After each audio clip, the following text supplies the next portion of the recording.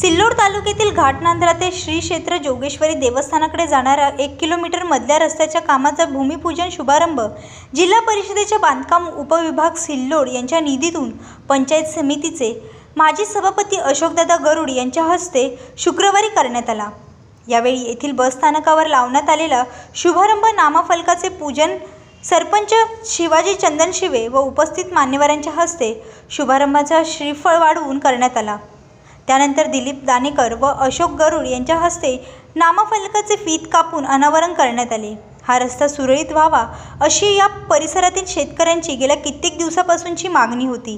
या रस्त्याच्या कामाला सुरुवात होणार असल्याने शेतकऱ्यांमध्ये आनंदाचे वातावरण आहे. प्रतिनिधी राम जोशीसह आधार न्यूज सिल्लोड.